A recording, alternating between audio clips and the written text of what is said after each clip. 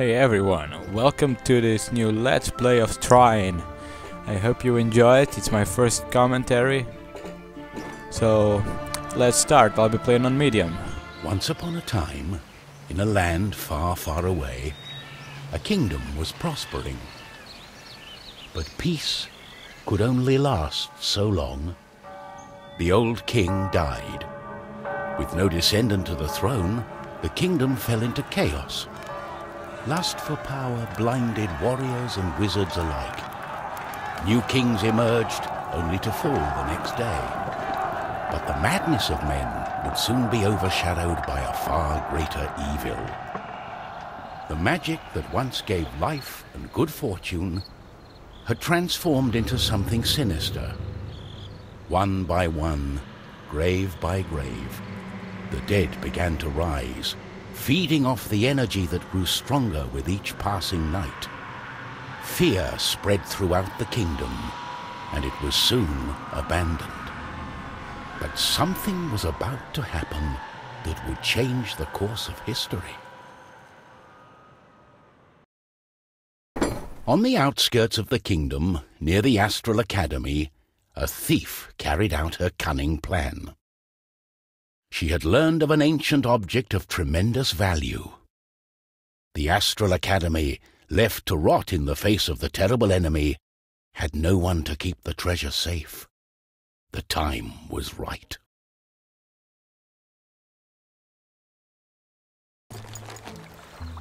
Everything was perfect.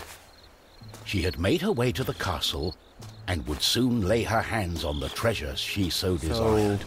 Trine is a really good game. You play as one of three characters, the, the thief, the warrior and the mage. Each one has a different gameplay mechanic and it makes the game really interesting as you see later. The gentle moon smiled at the thief as she made her way towards the shrine of ancient treasure.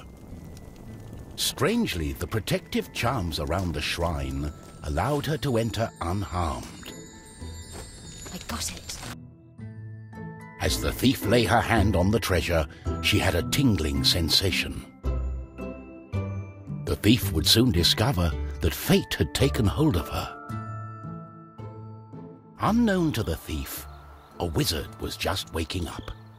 The wizard had taken a look in the spyglass and seen the terrible undead army. He was keen not to die. By my trousers, I must escape. He had been studying the stars and trying hard to learn the elusive fireball spell that all wizards ought to know. Of course, that was a lie. For you see, the wizard had a certain reputation with the ladies. What he had really been up to was the creation of a fake fireball potion that would have impressed the ladies and improved his status. The potion had backfired, causing a fortnight of sleep. So, the mage is an interesting character, as you can see. He can levitate objects and he can create them later also, which makes it really powerful for solving puzzles. Uh, the the thief, as you saw before, has a grappling hook, which allows it to to grapple onto things. Obvious. You play with a you can play with a gamepad or a mouse and keyboard. Uh, use the WASD and the mouse to play, and I don't know the gamepad because I play with the mouse and the keyboard. Uh, also, in this let's play, I'm gonna try to grab most of the chests and experience jars, vials, as you can see. I'm not the best player, as you can tell by this gameplay, and I miss a couple of jars in this. In this, as you can see now, I'm able to create objects by drawing a square, as it says on the on the on the preview here on, on Vegas. And this mechanic the game looks beautiful. The game the game is very beautiful. And you see the mechanics of the game the physics are also very very tight as you can see. Grabbing as you can see I'm grabbing in this first episode you won't see any combat because it's just the intro where you get to meet all the all the three characters. Characters, sorry.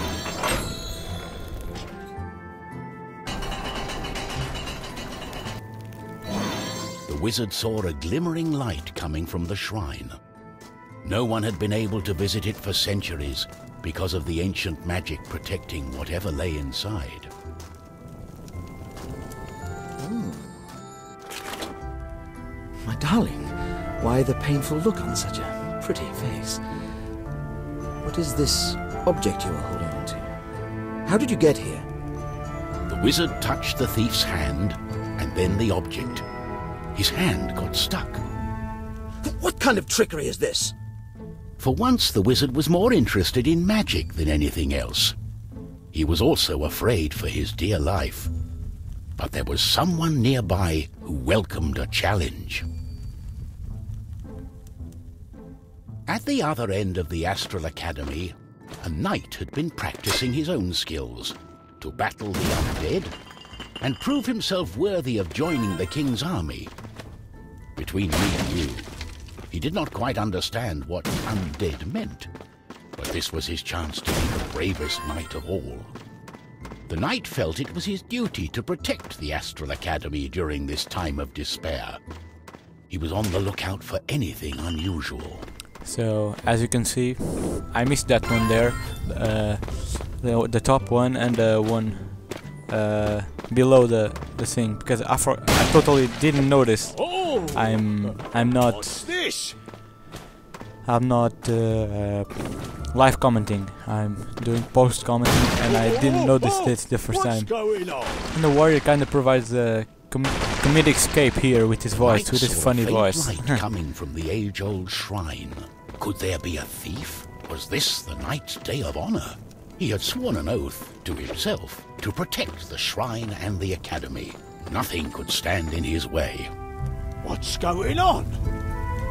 The knight joined in, taking a firm grip of the object's third side, in a way that only a mighty warrior can. Oh no, this doesn't bode well. What doesn't bode well? There was a flash of light, and the wizard, the thief, and the knight simply disappeared. Thank you for watching guys, this is my first commentary ever. I was kinda nervous, so I hope you enjoy it and stay tuned for more.